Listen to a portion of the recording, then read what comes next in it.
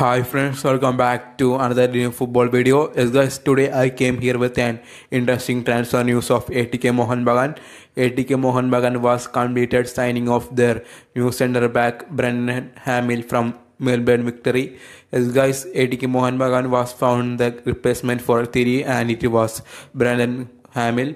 Brendan Hamill is an Australian footballer who have experience on Australia and South Korea. He was played K League for two different clubs and he was an well experienced center back already won AFC Champions League Yes, guys, we had to see how he was going to be adapt with ATK Mohun Bagan. We are expecting a solid performance from him because ATK Mohun Bagan was playing important round on AFC Cup on coming month. So his performance also had to be good because it was going to be his first match for ATK Mohun Bagan.